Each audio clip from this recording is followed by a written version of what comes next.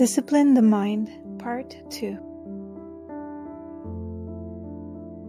Romans 12:2 Do not be conformed to this world, but be transformed by the renewal of your mind, that by testing you may discern what is the will of God, what is good and acceptable and perfect. Proverbs 10:17 Whoever heeds instruction is on the path of life, but he who rejects reproof leads others astray.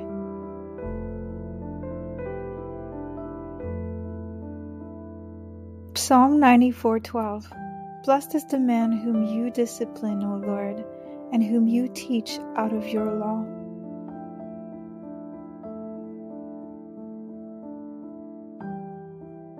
First John 4:18 there is no fear in love, but perfect love casts out fear. For fear has to do with punishment, and whoever fear has not been protected in love.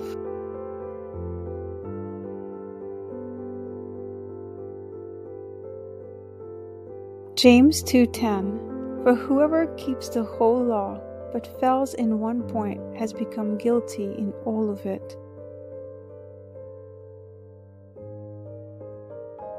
Hebrews 12:6 For the Lord disciplines the one he loves and chastises every son whom he receives.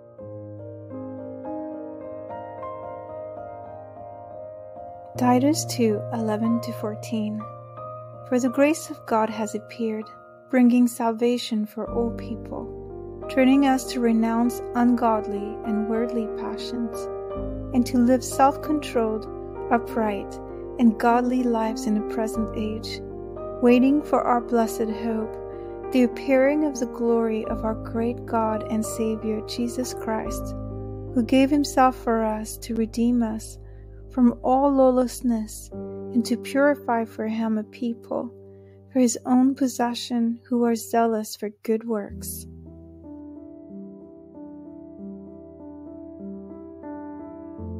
Galatians 5:23 Gentleness, self control. Against such things there is no law. 2 Corinthians 10 5. We destroy arguments and every lofty opinion raised against the knowledge of God, and take every thought captive to obey Christ.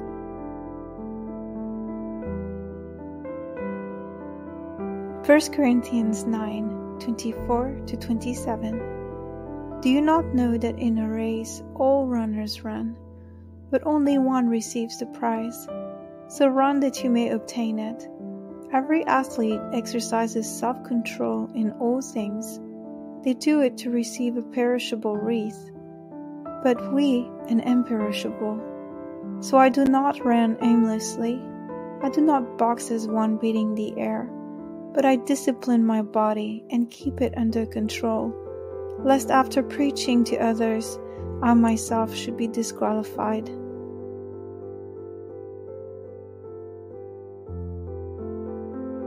John 3:16 to 17 For God so loved the world that he gave his only son that whoever believes in him should not perish but have life everlasting for God did not send his Son into the world to condemn the world, but in order that the world might be saved through him.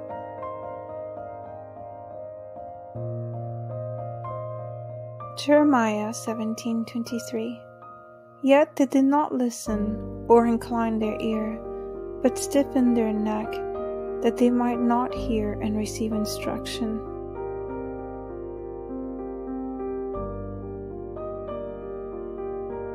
Proverbs 16:32 Whoever is slow to anger is better than the mighty, and he who rules his spirit than he who takes a city.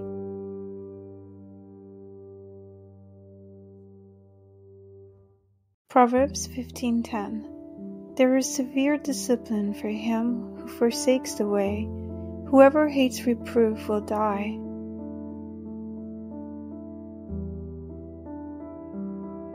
Proverbs 13:18 Poverty and disgrace come to him who ignores instruction, but whoever heeds reproof is honored.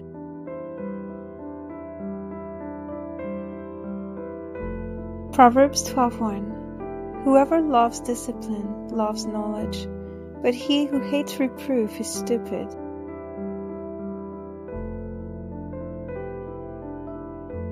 Proverbs 1:3 To receive instruction in wise dealing, in righteousness, justice, and equity.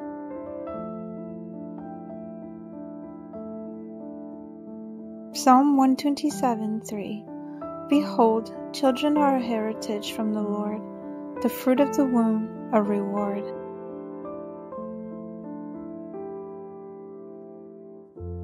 Job 5:17 Behold, blessed is the one whom God reproves. Therefore, despise not the discipline of the Almighty.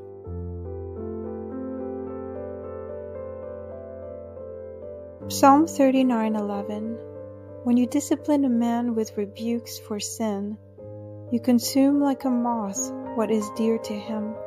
Surely all mankind is a mere breath. Selah.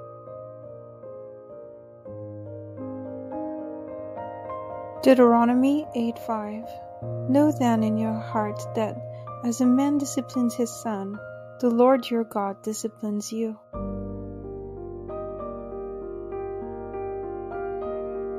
Deuteronomy 4:36 Out of heaven he let you hear his voice that he might discipline you. And on earth he let you see his great fire and you heard his word out of the midst of the fire